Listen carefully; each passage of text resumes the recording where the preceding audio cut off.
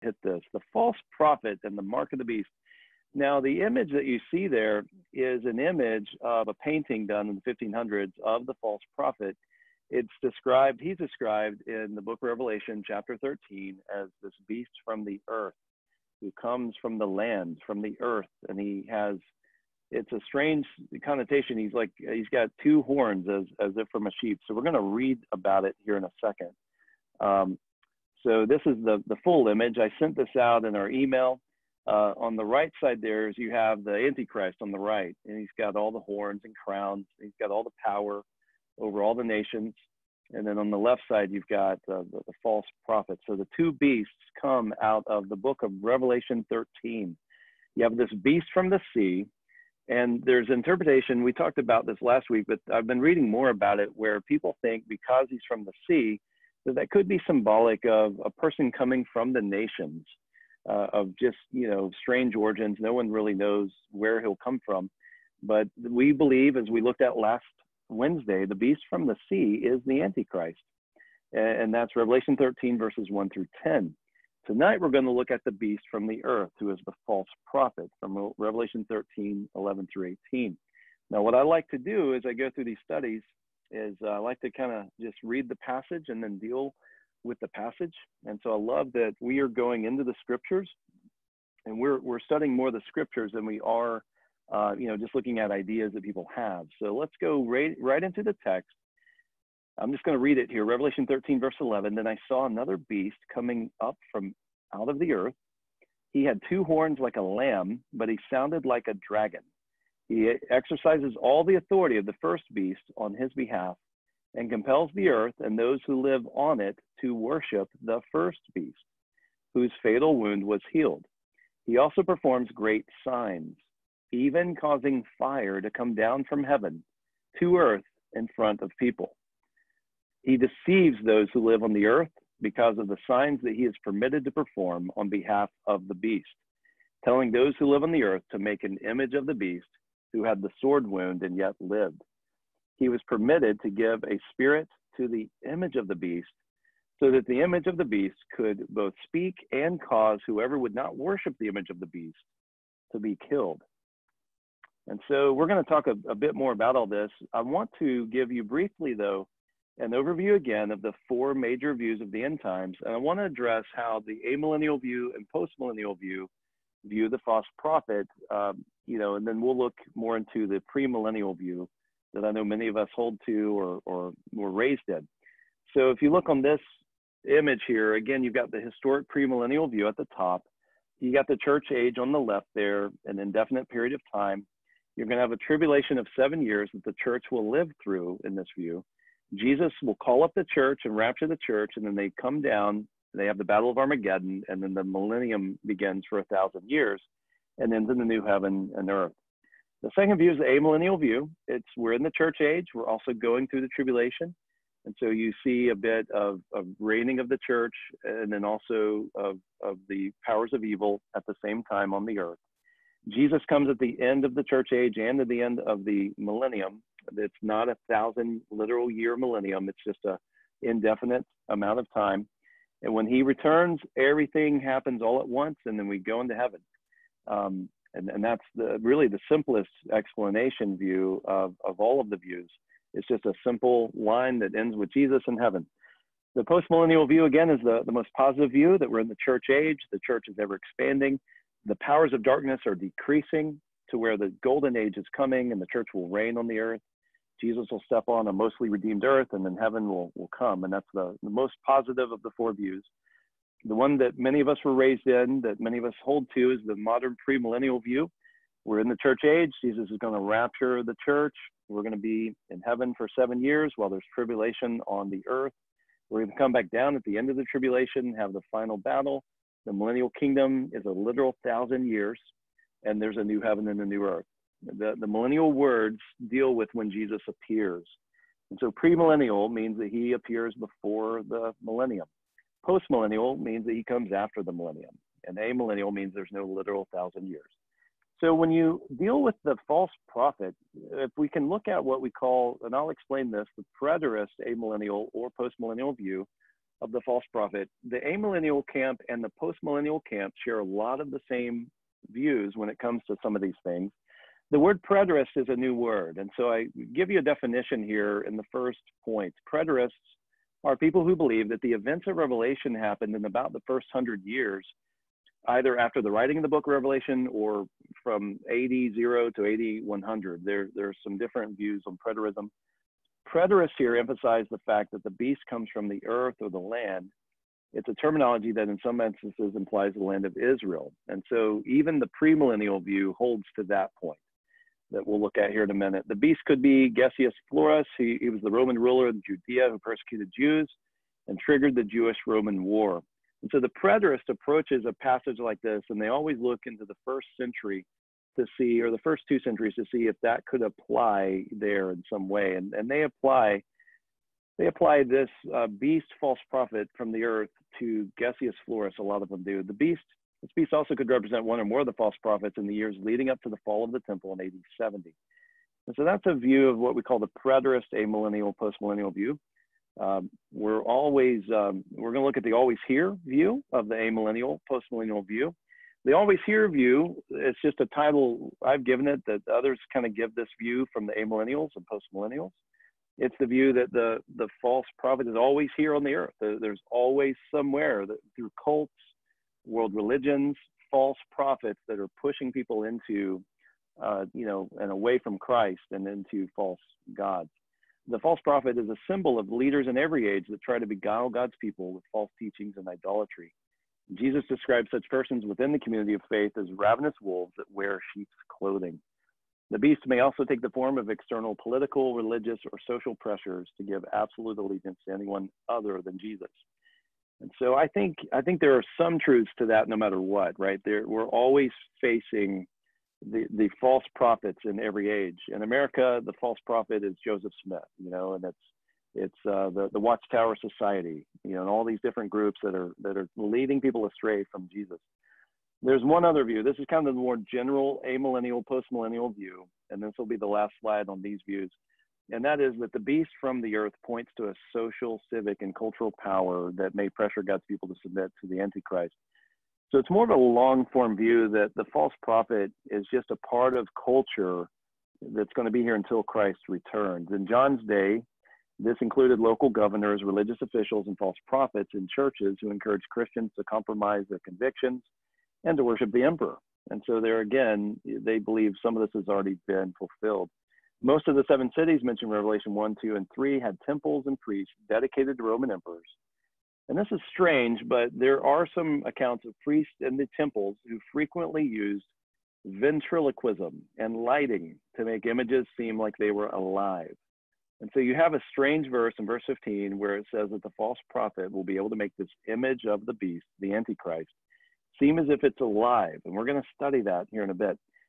We're going to shift now, though, to the premillennial view of the false prophet. This is the most uh, well-known view that, that, again, many of us were raised in. This is the view of left behind.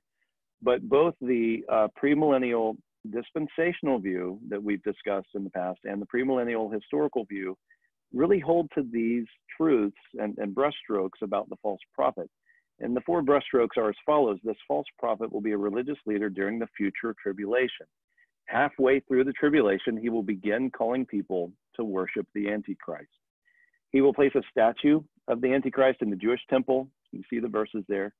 And recognizing that the earth or the land sometimes implies Israel in scripture, many dispensationalists expect the second beast, the false prophet, to be a Jewish person. So, what I want to do is I want us to go uh, into the text again, and we're going to go verse by verse through Revelation 13. And I'd like to give some longer notes about the false prophet. Before I do, though, let's just agree with what Christ says. The Lord Jesus predicted that in the last days, false Christs and false prophets will appear and will perform great signs and miracles to deceive even the elect, if that were possible. And so while we have seen many prof- false prophets throughout the centuries, they all pale in comparison to the coming false prophet mentioned in Revelation 13, verses 11 through 18.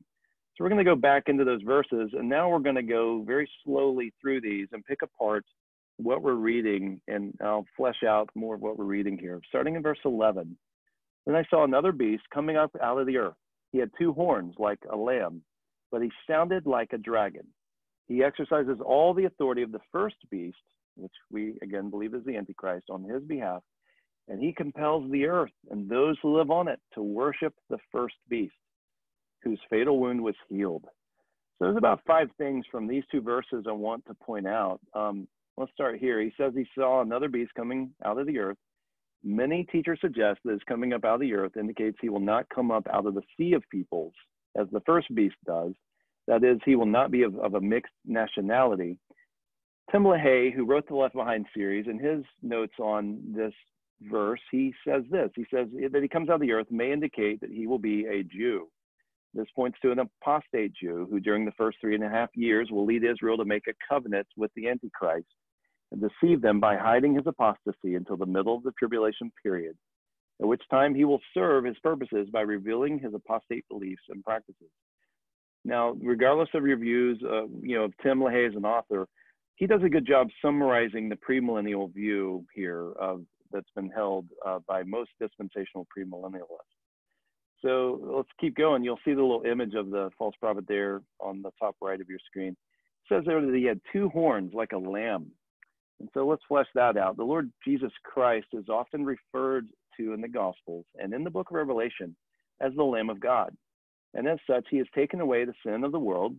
The false prophet, though coming on the earth, will look like a lamb with two horns.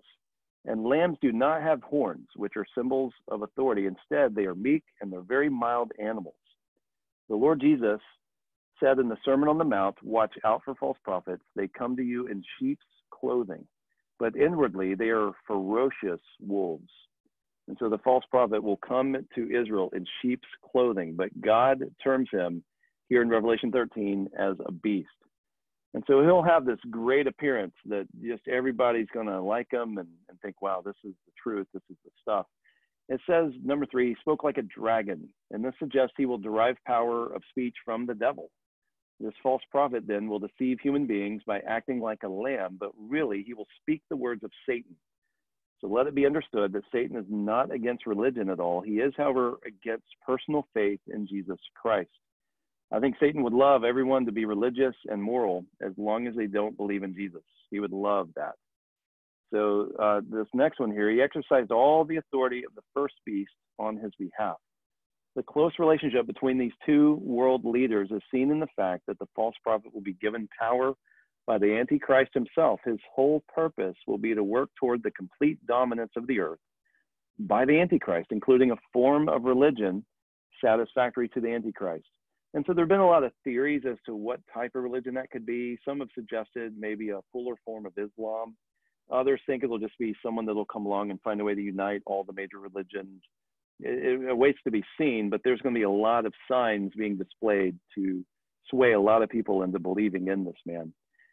And so he makes the earth and its inhabitants worship the first beast. This false prophet's basic purpose and operation with all of this power from the Antichrist and speech from the devil will be to drive people all over the earth to worship the Antichrist. When indwelt by Satan in the midst of the tribulation, the Antichrist will be so deceived about himself that he will deem himself as God and he will seek the worship of human beings. And so this form of worship will be propagated by the second beast or false prophet. He may well be described as the high priest of the Antichrist's religious system during the tribulation period. And so you just see that from that, that verse. He's going to try to make everyone on earth worship the Antichrist. And so as we move on to Revelation 13 13, look at this verse. He also performs great signs, even causing fire to come down from heaven to earth in front of people. And so we're going to break that one down. We see that he performs great and miraculous signs. The word translated miraculous signs is the same word used by the Apostle John in his gospel describing the ministry of Jesus. So this leads us to believe that the false prophet will be equipped by Satan and the Antichrist with authority and power to do such supernatural, miraculous signs as to deceive the inhabitants of the earth. This should come as no surprise, though, to any student of the Bible. Just because someone performs miracles doesn't mean they're of God at all. The devil has great power.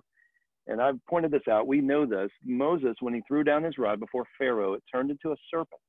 And the false magicians of Pharaoh, however, were also empowered to make their rods turn into serpents, thus duplicating the miracle of the man of God. However, you remember this, right? God caused Moses' serpent to eat up their serpents. So no matter what the devil's able to perform, God is the one that holds all the power. What's fascinating about this verse, though, is he causes even fire to come down from heaven to earth in front of people. And so you remember in the Old Testament the other story of the, the fire test of Elijah and the prophets of Baal, which proved to the children of Israel that the prophets of Baal were powerless to communicate with God. This probably can be repeated or, or will be tried during the tribulation period. And that may be one of the reasons for the coming of Elijah at the time. We're going to study that as we go through Revelation verse by verse. But Elijah shows up as, as one of the, or someone in the spirit of Elijah, as one of the, the two witnesses. The difference between this confrontation and the previous one, though, is that the false prophet will be able to call down fire from heaven.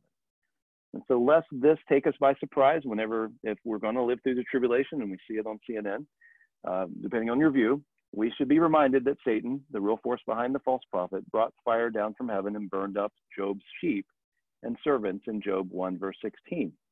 You may remember that story if you've studied the book of Job.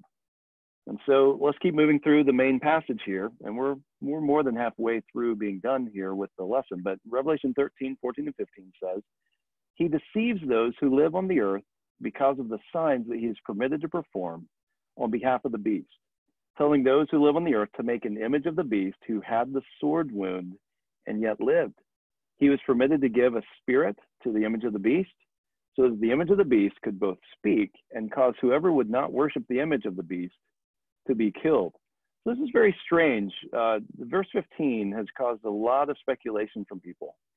Let's go over it. The false prophet will cause an image of the Antichrist to be built, and will it will have power, or he will have power to give a spirit to the image of the beast, so that the image of the beast could speak. So we believe in the midst of the tribulation, after the Antichrist has been slain and resurrected, or wounded, you know, and, and brought back what everyone thought he was dying or dead, the false prophet will cause people to build an image just like Nebuchadnezzar's image and will demand that it be worshiped. By some mysterious means, he will give life to that image. And so the speech will be caused by the, the false prophet, who in turn will get his authority from the Antichrist and from the dragon. And, and that's Satan himself, that's the dragon. He will issue an order that all who do not worship the beast will be killed. Revelation 20, verse 4 tells us that many will be slain by the, the guillotine it actually says that uh, John sees people who were beheaded for, uh, you know, they came out of the Great Tribulation being beheaded for their faith. This is a scene very similar to what happened to the Israelites as a result of Nebuchadnezzar's image. That we begin to realize Satan's tactics, they don't vary significantly. Once again, an order will be given that those who do not bow down and worship him will be killed instead of confronting a fiery furnace. Now they're going to be beheaded in the time of the tribulation. So that's uh, that's going to end right now, the false prophet, and then we will we're going to move into the mark of the beast here in just a moment. Uh, but let's pause and let's take a, a, little bit of a break here. And uh, any questions about the false prophet?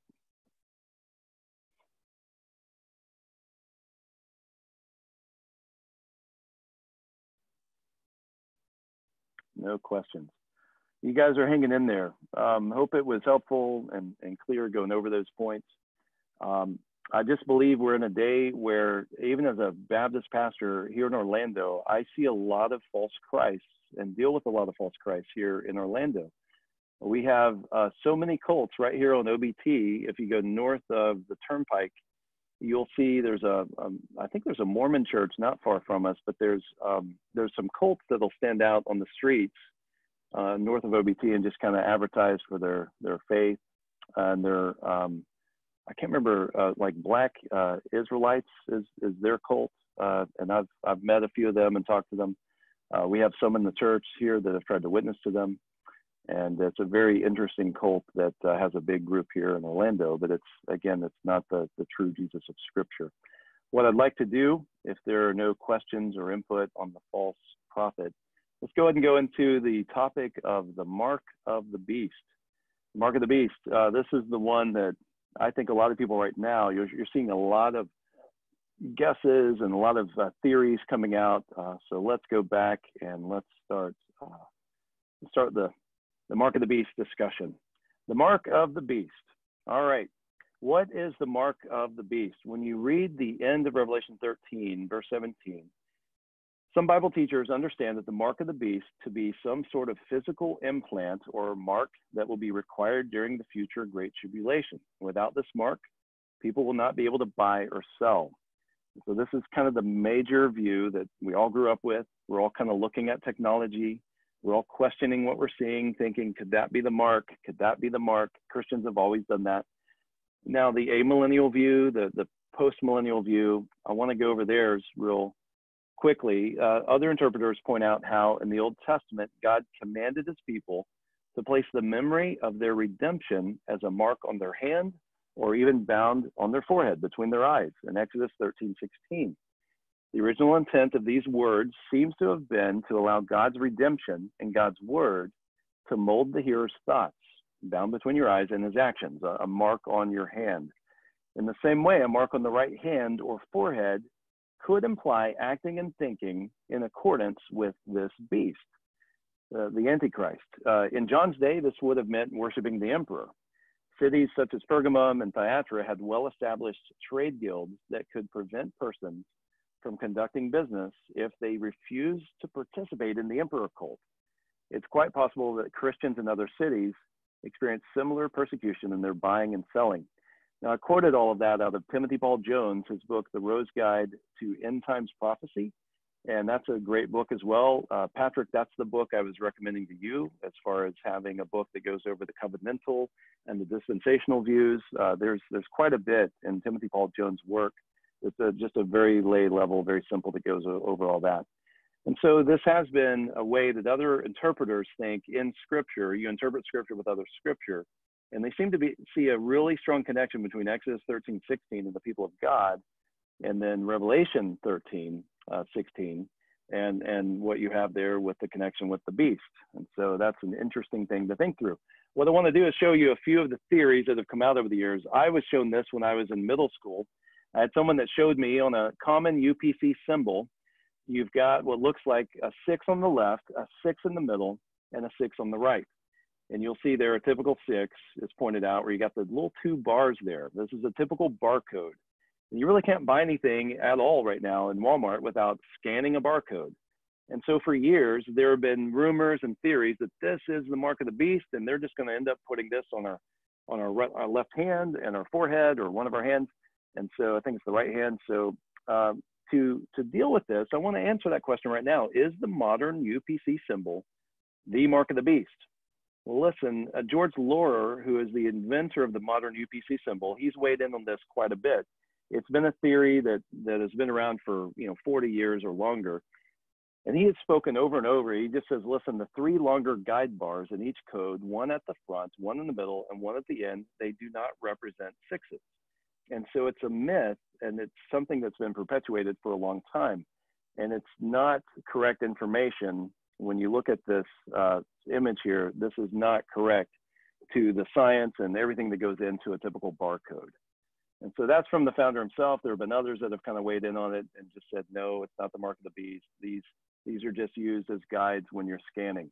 And so uh, the other idea, and this is more popular in our day, is the RFID chip that they're implanting now in some people and they are they're looking to some governments and some people are, are talking about implanting every human with one of these there's more talk about it bill gates has mentioned quite a bit about chipping people and so this would be something that would be trackable they'd be able to know where you are you you would be able to put all your financial information into the rfid chip they'd be able to keep up with all your bank stuff so it remains to be seen if this could be a fulfillment of the passage it does seem that the technology is there, though, for the tracking of selling and buying with something such as an RFID chip. So let's read the verses. Let's go to the scripture.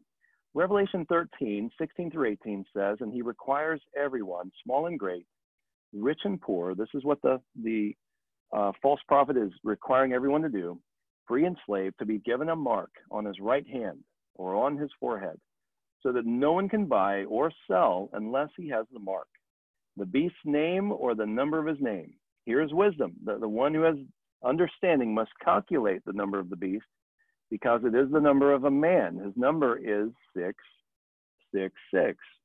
And so, so much speculation about what does 666 mean. I would say for 2,000 years, Christians have been a bit mystified about it. They've, they've had a bunch of theories. I want to go back to Tim LaHaye again. He says in Revelation Unveiled, he says, We only know that six is the number of a human being. It is one short of the perfect number seven, and humankind was created on the sixth day. Therefore, in Bible numerology, it is used to refer to humankind. That's a common belief held by many, but I think it was John MacArthur today when I was reading his notes on it. He just said no one really knows. And so to speculate too much on 666 right now is, is just a bit dubious and, and not you know worth uh, too much study in a way. He just doesn't feel like we can fully know until maybe later on. And so the false prophet will use these marks as a mean, or, or use the mark of the beast here as a means of forcing people to worship the Antichrist. He will demand that everyone have his mark on their foreheads or on their hands in order to buy or sell. This economic pressure will be instrumental in causing many weak, worldly individuals to succumb to the establishment of this monarch, this, this great ruler, the Antichrist, which will be tantamount to the personal rejection of Christ and acceptance of Antichrist. One can scarcely imagine the pressures of having to possess such a mark in order to secure the necessary food for his family. And so, physically speaking, it will not be, or it will be necessary for every human being to have the mark of the beast. Spiritually speaking, though, it will be fatal.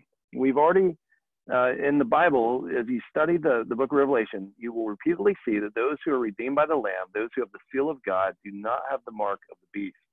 But those who receive the Antichrist mark will have made the final decisions for eternity to reject Christ and to worship the Antichrist, his arch enemy.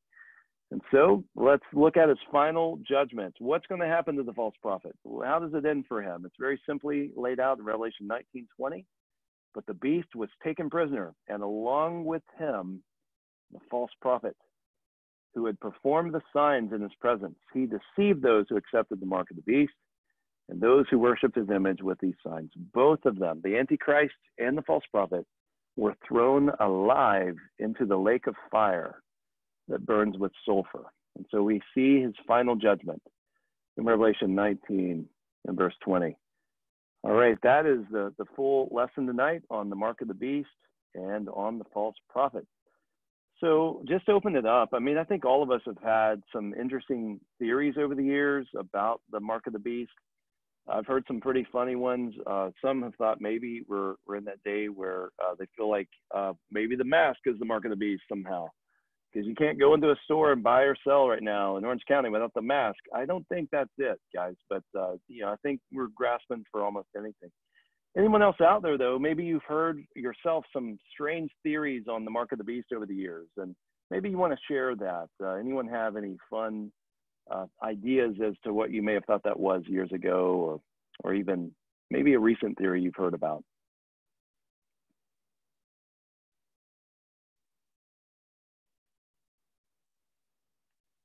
That's okay if there's none. Uh, what about any questions about the mark of the beast or false prophet? Uh, and, and if none, any questions about anything general about end times prophecy? Let's just open the, the airwaves.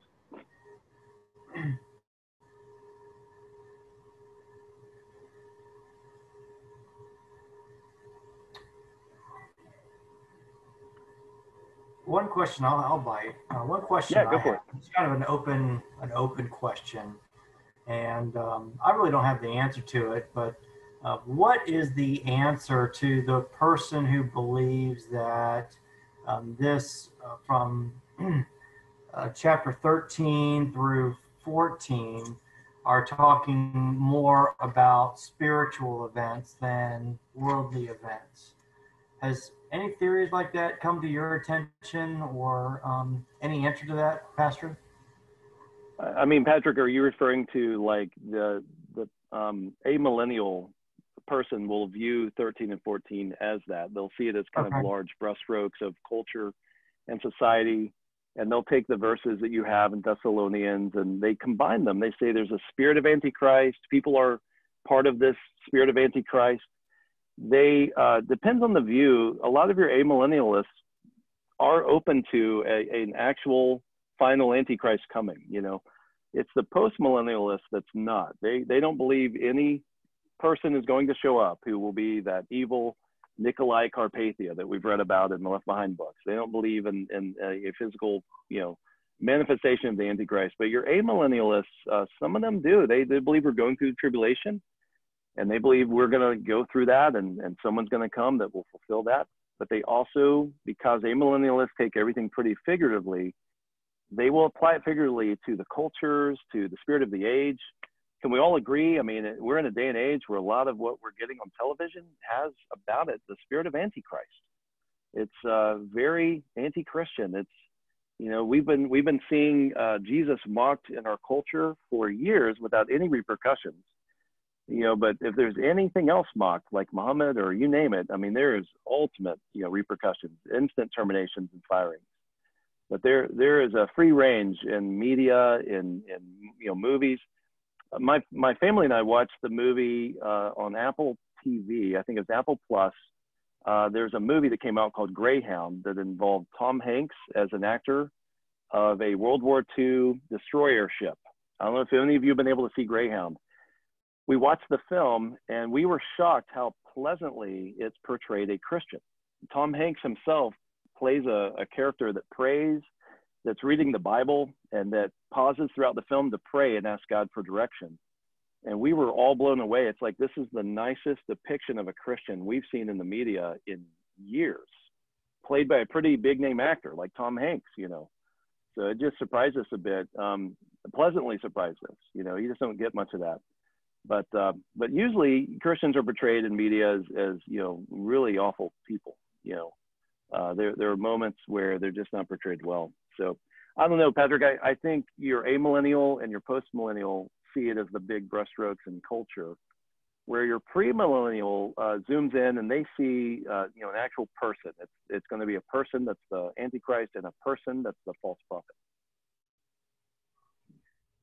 Good question. The first thing that comes to mind whenever I, I read like verse 11 Mm-hmm. And uh, I was thinking, I try to think of myself, is there an interpretation where some of this could have happened in history? Or you yeah. have a positive anchor where, hey, this really could have satisfied, you know, this event. So the thing that, that, that comes to mind when I read verse 11, and I saw another beast coming out of the earth, and he had two horns like a lamb. You know, I think of Baphomet of the occult. And that's a striking image. And that is an image that's currently being used by the Freemasons today. Yeah. Um, so I don't know if there's any, if you had any comment on that either. No, um, uh, but I will say Southern Baptists have historically viewed uh, Freemasonry as a cult. And uh, I know a lot of churches and a lot of us have maybe grown up a grandfather that was in Freemasonry. It's a secret society that uh, every cult book I've got on my shelf uh, has a big old chapter on Freemasons. And so if you're in Freemasonry, and I know it's a secret society and you want to talk about it, um, I've had a lot of discussions over the years with Freemasons, and I would love to share with you the information I have as a Baptist pastor on that. My last church had it written into their constitution that no one who was involved in Freemasonry could be involved in the leadership of the church or membership. They would not accept any, any members into that fellowship that were involved in Freemasonry. And then another church that uh, Jenny and I went to visit with before we came to South Orlando Baptist, all of their leadership was involved in Freemasonry. And that was the reason why we declined. It's like, we don't want to serve in a church that is, uh, you know, and they weren't, you know, lower level. They were like 32, 33 level Freemasons, if you know anything about Freemasonry. I, I, don't know though, Patrick. I don't know if, if Baphomet would be a possible. Uh, I mean, I think the image is there. I mean, you got a goat with you know the two horns, and and uh, you know that that seems to kind of fit. Um, I don't know. You know, it. I I think what you were saying earlier though ties into what we call the preterist view, where a lot of folks will read something like chapter 13 of Revelation, and they try to see where it could have been fulfilled in the first hundred years of, of the church or of, uh, you know, in the first century. And uh, I've got friends that hold to the, the preterist views. I really struggle with the preterist views. I always feel like they're really trying to squeeze certain things from these chapters really hard into some people that I don't think fulfill as loudly as I, I mean, I, again, I kind of lean towards, we're going to see a antichrist someday. We're going to see, you know, these people showing up on the scene someday. So that's a good question. Um, yeah, I always wonder yeah. about events of history, like you know the abomination on the temple. You know, you go to Jerusalem today. There's a mosque on the Temple Mount. Um, you know, uh, the many false prophets that you mentioned, and uh, I always just wonder if there if there are you know good. I never seen a good, solid, cohesive story of the of the of the uh, um, I guess we call the amillennial um, view. Yeah. Um, yeah.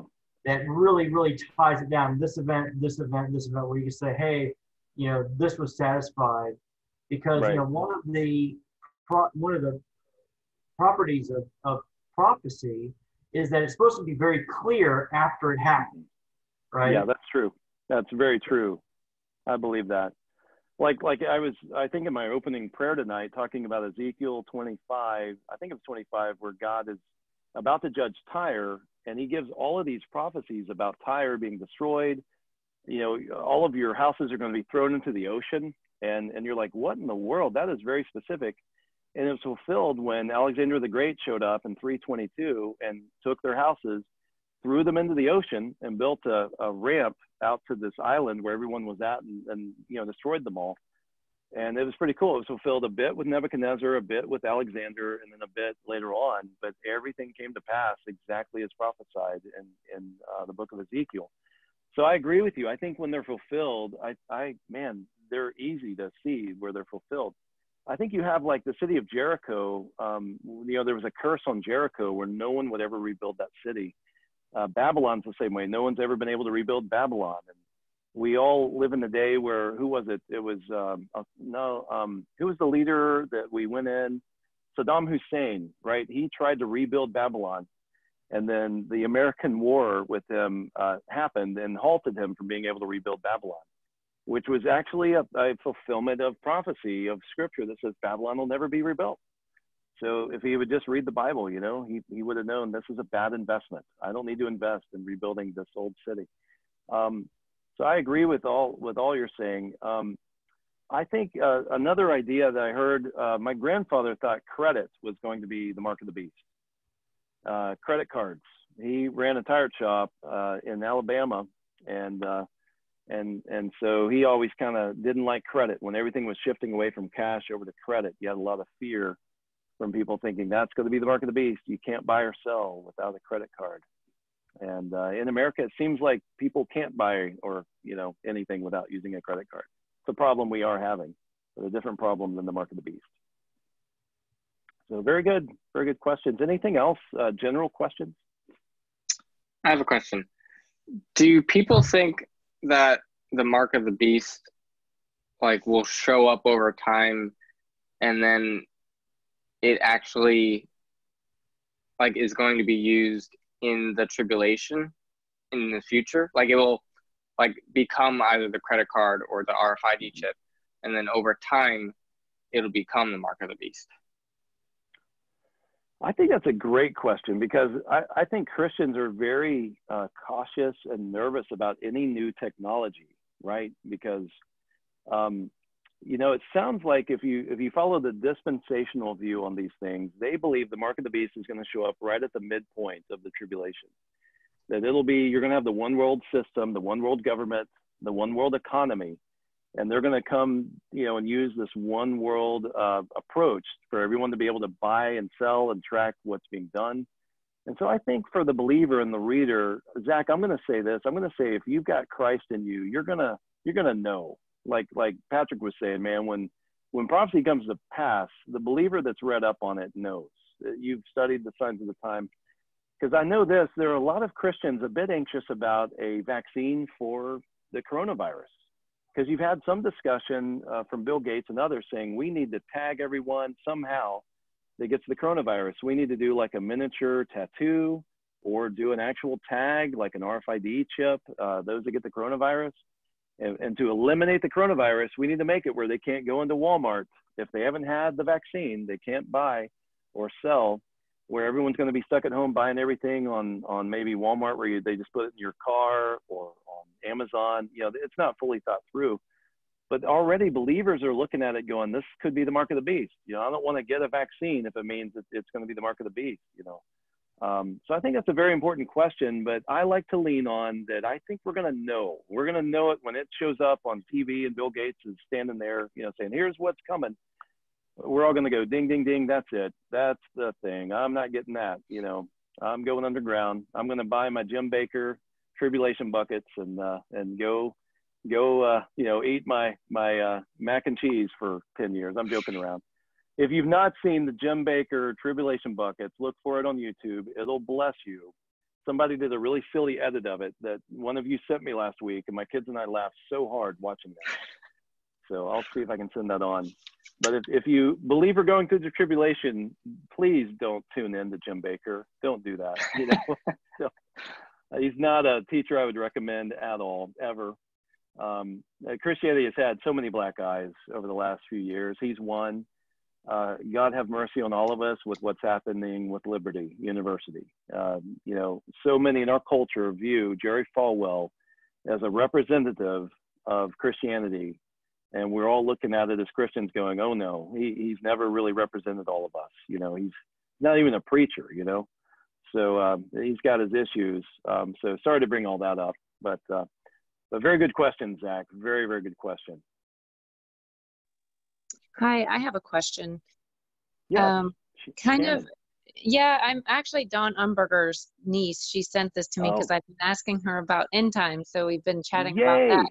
Yeah. Welcome. Um, it was a great uh, teaching on it. So I guess the question kind of would be, you know, I've been doing my own studies on it, and I think too, mm-hmm. as believers, don't you also feel some of it's a heart condition? Because if you had the chip let's just say like he brought up a good question if you get it and then it turns out to be the mark of the beast in all reality we weren't denouncing our faith by getting it at Amen. the time right so it's not really like you took it and you sold out your faith on it you you kind of got it Amen. and then that was it at the time and if it later turns so sometimes i think the chip may be a precursor for it but not the actual just because of that like if they gave it to me but it didn't have anything to do with my faith and i'm not worshiping right. the person then i i feel like it i'm just hesitant on if it is only because it's not mm-hmm. tied to my faith at this time amen uh, no, we, we absolutely affirm that, that if you have received Christ as your Savior and Lord, He will never leave you, He will never forsake you.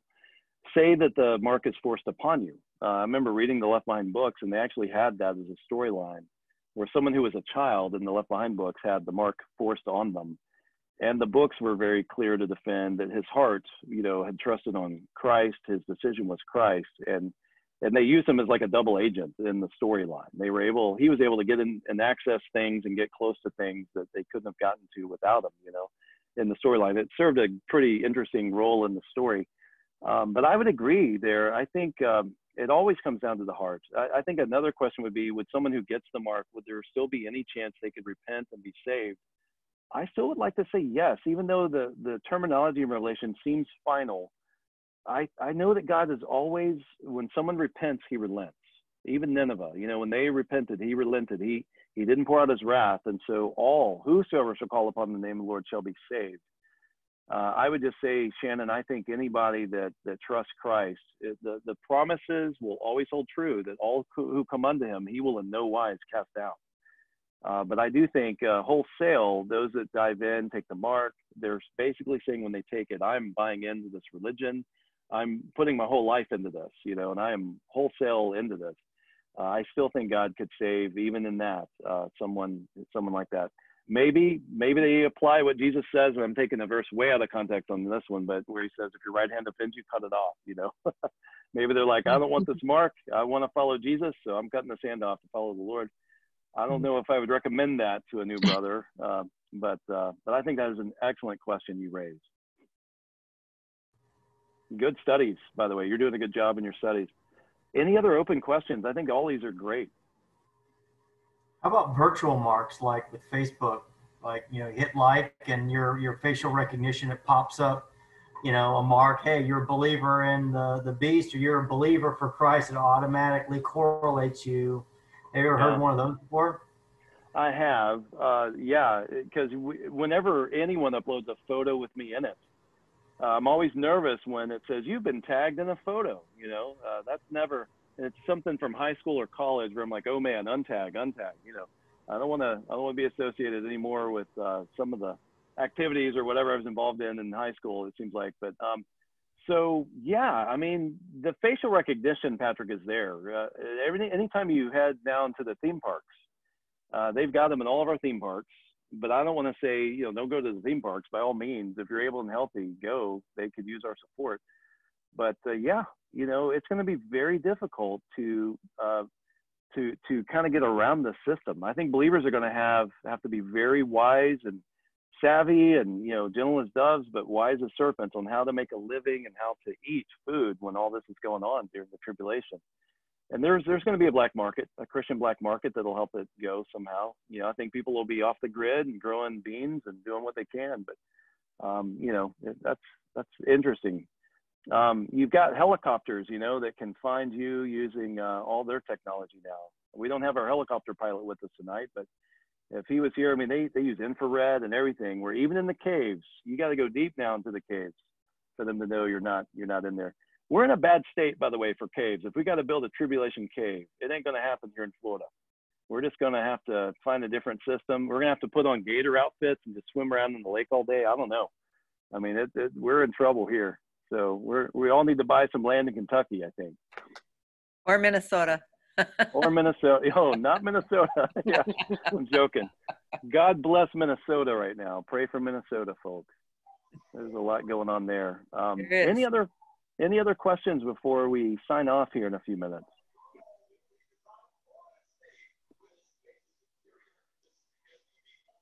Good. I mean, I, am I the only one that grew up with some of these stories about the mark of the beast? Did any of you else hear about the UPC symbols there you go. A few hands. Credit cards. Yeah, okay. I'm not alone on that. No. We've all heard about the the Bill Gates chip. You know, everyone's been a little scary yeah. about that. Yeah. Um, Every time you hear about new technology, you're constantly hearing even when there's new political things going on, you constantly hear about this. So it's something that's talked about every time there's something new going on. Mm-hmm. So I I do think an idea of, of having a vaccine is an easy way to get people, you know, to, mm-hmm. to go along with whatever. Um, if, if it's going to be a worse disease and the Antichrist has found the cure and, and you just got to, you know, get that cure, that'd be an easy way for a lot of people to say, all right, he's our savior. He's, he's saving us. I think what's fascinating too, that, that my sons and I are always watching documentaries on North Korea and praying for North Korea. But when you study North Korea and you see the, the worship people have for their grand leader, it's tragic because North Korea used to be the Jerusalem of, the, of Asia. They used to have more Christians in that area of Asia than you know any other city. And since the war, the Korean War, and, and since things have changed, there is this amazing worship that goes on nationally, and it's it's forced in a way. It's forced in a big way. There's great fear, but the worship these people give to their grand leader you know, it's I think to me it gives me a glimpse of what people are going to be seeing when the Antichrist figure shows up. You know, he's going to be mesmerizing. He's going to have all the answers, and he's going to be so smooth, and you're going to vote for him. You know, everyone's going to want to vote for the guy. He's funny. He's going to be, you know, good-looking fella probably, and and just I uh, the the theory that so many of your your backwoods uh, folks are working on right now is we're going to go through such an economic fallout from COVID that they believe what we're going through right now could be setting the stage and a precursor for a grand leader to show up that's going to have the solution and answer for all the economic issues of the world. Uh, there's really no nation doing really well with COVID. I mean, it seems like China seems to be getting some advantage. Their economy's, you know, coming back, but it's affected all of us globally, and it's really hurt all of the the economy of the world. We we're going to be spending a lot of years picking up uh, the pieces from this year, sadly. So, you know, we'll see. Time remains to be seen. And if we're raptured out, we're raptured out. You know, we won't, we won't even be around if, if uh, I'm, and I'm hopeful for that. I would love to just be out of here. I'd love to go.